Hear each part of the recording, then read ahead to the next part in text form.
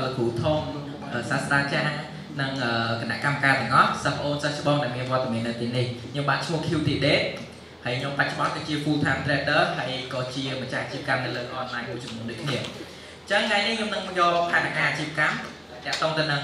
រង្វង់សហគមន៍នៃសហគ្រិន Digital ដែលមានឈ្មោះថា Golden Gate Community អញ្ចឹងជាដំបូងខ្ញុំចង់អរគុណទៅដល់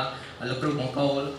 ដើម្បីដែលបង្ហាញបង្ហាញអំពីវិធីសាស្ត្រក្នុងការធ្វើផែនការអាជីវកម្មដើម្បីឲ្យលម្អិតហើយក៏អរគុណទៅដល់មិត្តភ័ក្តិដែលគាត់ជួយជ្រោមជ្រែងជួយមើលការខុសត្រូវលើផែនការអាជីវកម្មរបស់ខ្ញុំហើយជាពិសេសគឺអរគុណទៅដល់គ្រូសារបស់ខ្ញុំផ្ទាល់ដែលគាត់អឺគ្រប់គងហើយពួកគាត់ផ្ដល់ការសម្រេចចិត្តដែលអនុញ្ញាតឲ្យខ្ញុំមកសិក្សានៅក្នុងវិទ្យាស្ថាន CEO មួយនេះអញ្ចឹងគំនិតអាជីវកម្មរបស់ខ្ញុំគឺ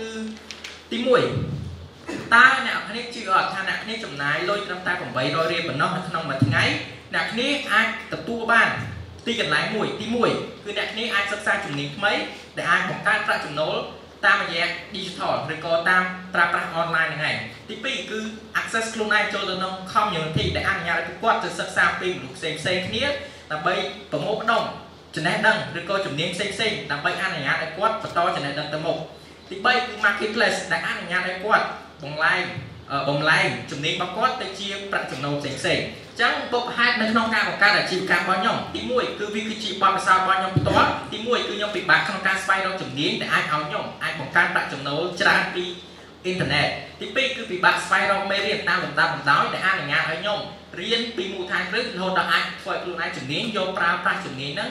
ដែលអាចបង្កើតប្រាក់ចំណូលកើតទី2គឺអត់មានអ្នកជួយដោះស្រាយបញ្ហារបស់ខ្ញុំនៅពេលដែលខ្ញុំជួបបញ្ហាគឺខ្ញុំមិនដឹងត្រូវសួរពីណាទេដោយសារ ចំណេះជំនាញផ្សេងផ្សេងនេះគឺខ្ញុំទៅស្រាវជ្រាវស្វែងរកខ្លួនឯងអញ្ចឹងខ្ញុំមិនដឹងថាត្រូវទៅស្វែងរកពីណាដើម្បីមកជួយដោះស្រាយបញ្ហាខ្ញុំផ្សេងផ្សេងហើយចំណុចចុងក្រោយនេះគឺវាជាបទពិសោធន៍ខ្ញុំផ្ទាល់គឺជំនាញខ្លះគឺខ្ញុំខ្ញុំមានឱកាសមុនគេហើយប៉ុន្តែខ្ញុំគឺបាក់ទឹកចិត្តដោយសារខ្ញុំអត់មានអ្នកដែលមកជួយ support ខ្ញុំមកជួយជ្រោមជ្រែងខ្ញុំឬក៏ community ដែលអាចធ្វើខ្ញុំទទួលបានលទ្ធផលហើយខ្ញុំក៏បោះបង់ជំនាញមួយហ្នឹងហើយមួយទៀតគឺតកតងទៅនឹងគោលដៅជីវិតផ្ទាល់ខ្លួនគឺតកតងទៅសេរីភាព ចឹងសេរីភាពរបស់ខ្ញុំគឺតកតងទៅនឹងទីកន្លែងពេលវេលានិងហេរញ្ញវត្ថុស្ដាប់ទៅវាដូចជាលេសឬក៏សម្រាប់មនុស្សជើប៉ុន្តែអឺគោលដៅមួយនេះគឺវាធ្វើឲ្យខ្ញុំលះបង់ច្រើនមែនតើវាធ្វើឲ្យខ្ញុំចេញពី comfort zone មែនតើវាធ្វើឲ្យខ្ញុំហ៊ានធ្វើអ្វីដែលនៅទូទៅគាត់អត់ហ៊ានធ្វើហើយខ្ញុំទៅធ្វើអញ្ចឹងខ្ញុំអាចនិយាយបានថាសេរីភាពមួយនេះគឺវាមិនមែនស្រួលដូចអ្វីដែលយើងគិតទេតែតោះទៅនឹងទស្សនវិស័យបេសកកម្មនិងគុណតម្លៃនៃអាជីវកម្មរបស់ខ្ញុំ តើតោះទៅនឹងទស្សនវិស័យរបស់អាជីវកម្មខ្ញុំគឺខ្ញុំផ្ដោតទៅលើជួយទៅកាន់យុវជនសម័យថ្មីដើម្បីឲ្យពួកគាត់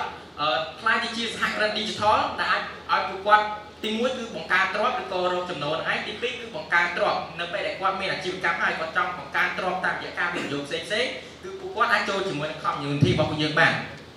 ទី2គឺបេសកកម្មចឹងបេសកកម្មរបស់ពួកយើងគឺផ្ដោតទៅលើការបង្កើត ទីកន្លែងមួយដែលអនុញ្ញាតឲ្យពួកគាត់ប្រមូលផ្ដុំគ្នានៅក្នុងកន្លែងតែមួយ access គ្រប់យ៉ាងទាំងអស់នៅក្នុងហ្នឹងទី3គឺគុណតម្លៃគឺយើងចង់បង្កើតវប្បធម៌នៃសហគ្រិន Digital ដើម្បីអនុញ្ញាតឲ្យពួកគាត់